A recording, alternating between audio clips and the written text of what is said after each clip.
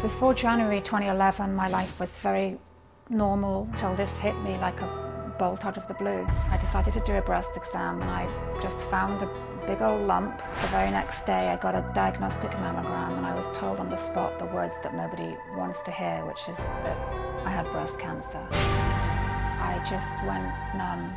My children were three and six years old. I didn't know if I was going to live or not. I had a kind of cancer called HER2 positive, and that meant that I'd have to have chemotherapy. The first thing I asked was, Am I going to lose my hair? And they said yes. I sat down to tell my daughter that I was going to lose my hair. She lived in a world of Disney princesses, and she said, But mummy, if you lose your hair, you're going to look ugly, babyish, and stupid. When I first talked to my mum, she told me that there was this thing they do in England where they put bags of ice on their head and they call it cold cap therapy. And so I just got in front of the computer and up popped this website, Penguin Cold Caps. I decided it was definitely worth a try. I did experience many of the side effects of chemo, but it made such a huge difference for me not to have to go through that trauma of the hair falling out and for me to be able to look normal and have people come up to me and say, you look great, you don't look sick. And the reason why I didn't look sick is because I wasn't losing my hair. When you get diagnosed, you lose control of everything. You don't get to decide whether or not you're going to live or die. What was so important with being able to save my hair was the empowerment that I got to have control over something. Let's please welcome Tricia, who's here in our audience, as well as oncologist Dr. Lawrence Piro. And, thank you for sharing your story. But first, before anything else, how are you doing? It's been a long, hard slog. It was a two year journey, but today I'm cancer free and doing great.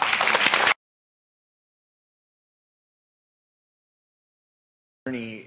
Talk to us a little bit about the journey of chemo, radiation, because it's truly a journey, not always a pleasant one. It's absolutely a journey. I mean, first of all, chemotherapy is infused usually into your arm. There's some forms by mouth, but usually infused into your arm. It circulates throughout the body and it kills a lot of the dividing cells. So on the good side, the, the tumors have a lot of dividing cells, so it kills the tumor. But on the bad side, it often kills other dividing cells that are normal. For example, in your mouth, when your lining of your mouth is being regenerated, kills those cells and it makes mouth sores and ulcers. In your bowel, it can cause diarrhea and erosions in that area. And of course, on your head, where you have hair follicles and you have hair growing, it can also kill hair.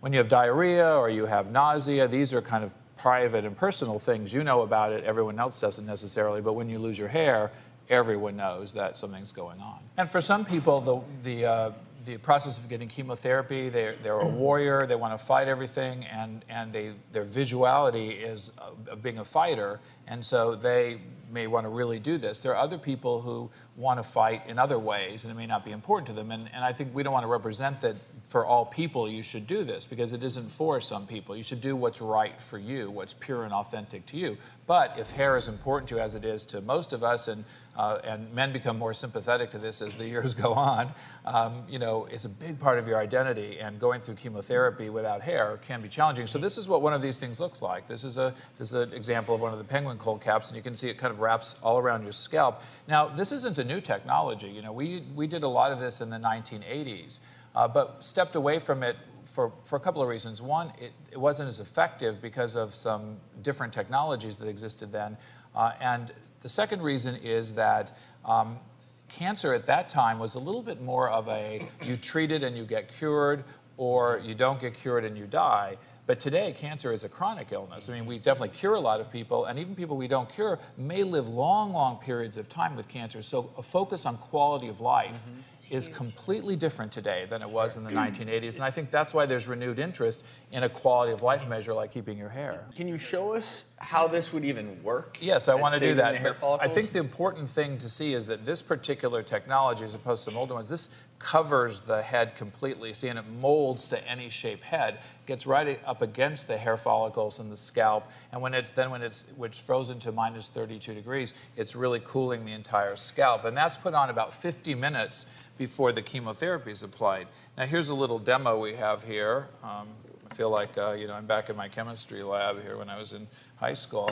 But this is this is an example of, of blood flow to the to the brain to the scalp right? And so if you have a wide open blood vessel, if you give some chemotherapy, and I'm going to try to not spill this on myself or anybody else, right? And you can see now the chemotherapy can go widely up to the scalp. Now the idea is if you freeze the blood vessel so that it, it uh, contracts and constricts down, right? And putting this clip on is a nice mechanical image of constriction, and then we pour in some the point is, is that in the freezing, you've reduced the amount Yep. that goes down, right? So mm-hmm. it's not that it stops it completely; it reduces the amount that goes down. So now, less of the chemo gets to the hair follicle. less of the chemo that. gets to the hair Yeah. follicle. But there is a second part of the mechanism that is important as well, and that is that by freezing the hair follicle, you take the metabolism of the hair follicle down. Just like if we go and stand in a freezer for a period of time, all of your cells slow their metabolism because they need to preserve the energy for other more important functions like your heart beating. And so you, you reduce the metabolism, and whatever of that chemotherapy does get through, less is taken up by the hair follicle, so there's less damage to the hair and less loss. What I love is that cold therapy is finding so many applications. And you said this isn't new technology, but now cold therapy is being used for so many things. It's always been used for organ transplantation, but after people have cardiac arrest, this is a way to save tissues. And I'm just so glad that this worked for you because you have a beautiful set of hair. Thank you. You really do.